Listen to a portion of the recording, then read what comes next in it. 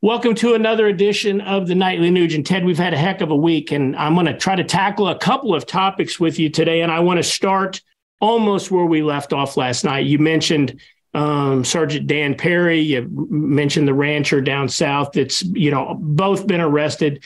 Um, I think it's worth mentioning uh, Daniel Penny, uh, the Marine that uh, he spoke for the first time this week, came out on video and said he feared for his life. He feared for the lives of the women and children on the uh, on the subway, on the train.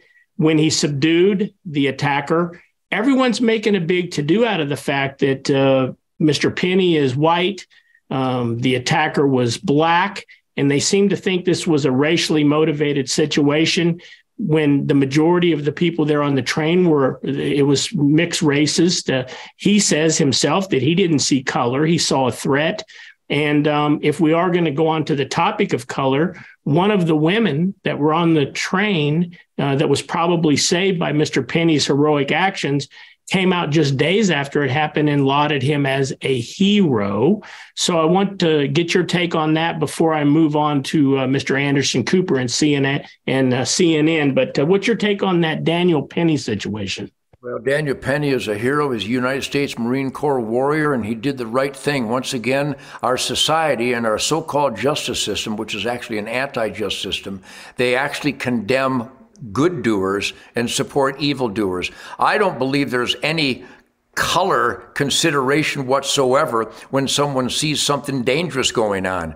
This this United States Marine Corps hero, he acted on pure instinct and he saved people's lives. He could have given a rat's ass about anybody's color, but if you want to be racist and consider color instead of content of character, like the media and big tech and Anderson Cooper and certainly the court systems of New York and Mayor Adams and, then the prosecutors, they're the racists. They're identifying color of skin. Uh, what's his first name? Is it Dan Perry? Uh, Daniel Penny. Dan Penny, Daniel Penny. Daniel Penny a- acted on pure good over evil instinct. He didn't care who he was stopping from an evil, dangerous attack. He didn't care who the victims might have been. He was stopping an evil act and protecting innocent life. Anybody that reference a color to such a moment is the racist. And remember, New York City is controlled by Democrats. It's controlled by a black mayor, a black chief of police, a black prosecutor, a black DA. And they're the ones who literally are celebrating the engineered recidivism that the, put the people on that subway in danger that day. It, this is literally planet of the serpents, where good is condemned and evil is celebrated. So, uh, uh, uh Mr. Penny, we salute you. And America has, has spoken. They have raised millions of dollars for his defense. But what a horrific moment in America when we have to literally defend a man against a charge of murder or manslaughter, when by all considerations, he did the right thing. He should be considered a hero. Do you think there's any coincidence, Ted, that the same DA, Alvin Bragg, that brought these charges is the same DA that prosecuted Donald Trump? Bragg got his gig because of the color of his skin, not the content of his character. I would rather leave comment to my hero, the great Jason Whitlock. Jason Whitlock has a Blaze TV uh, and a radio show, and as a black man, he is horrified that everything from the Democrat Party, everything from the left, is always about race. Good doesn't have a color. Evil doesn't have a color. Good is when you can conduct yourself in an honorable, law abiding way. Evil is when you jeopardize innocent lives. It is no coincidence that Alvin Bragg and Mayor Eric Adams always go for the race card and always reduce everything to color of skin, absolutely abandoning the righteous path to content of character. Shame on the racists. Well, on the topic of the value of the color of anything, let's talk about the color of money.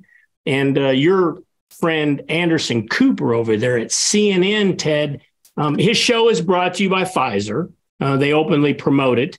Um, Anderson Cooper makes $12 million a year. And uh, according to, this is according to Robert F. Kennedy in a recent uh, podcast that he uh, gave, um, Robert Kennedy Jr. says 80% of Cooper's $12 million annual salary, which is roughly 10 million, is paid directly by Pfizer. Um, and then, of course, Anderson Cooper goes on his show and promotes the safety and the necessity of the uh, COVID 19 vaccine that Pfizer was pushing. Now, of course, CNN and Pfizer have um, indicated that the facts aren't accurate here. I'm simply quoting Robert uh, Kennedy Jr. Um, but I don't know. Seems pretty obvious to me. What's your take, Ted? You know, the big pharma gangsters control all that media. I mean, even on Fox News, who we were hoping was a source of some truth, logic, and common sense, and it is with Jesse Watters most of the time. I don't like his uh, uh, flippant attitude towards dangerous and critical issues uh, but he's a good cockroach spotlighter. So a big salute to Jesse Watters and a big salute to Sean Hannity. But they lost the number one cockroach spotlighter in the world, Tucker Carlson, and a big salute to Eric Bolling over there at Newsmax as well. He's doing God's work, identifying the cruelty, the criminality, the corruption, the tyranny, the abuse of power, the oath violations by so many in the U.S. government. But what we see here is just another manifestation of a cultural abandonment where Anderson Cooper has lost his soul and these big media tyrants they're controlled by the dollars from Big Pharma. Big Pharma has poisoned our food. They've poisoned our water. They're poisoning our, our, our fertilizers and our seeds. They're poisoning our drugs and our vitamins. They're in cahoots with the communist Chinese, producing our, our seeds and our fertilizers and our, our prescriptions and our pharmaceuticals and our vitamins. Who the hell doesn't know this stuff. Well, Nugent's a radical. Yeah, I am a radical. I'm an extreme radical. I'm a radical extremist because I'm addicted to truth, logic, and common sense. And Anderson Cooper, I was on his show for three days in a row with my wonderful son Fleetwood numerous years ago. And we got along just great. But since then, Anderson Cooper has dived into the flushing toilet of soullessness. Anderson, shame on you.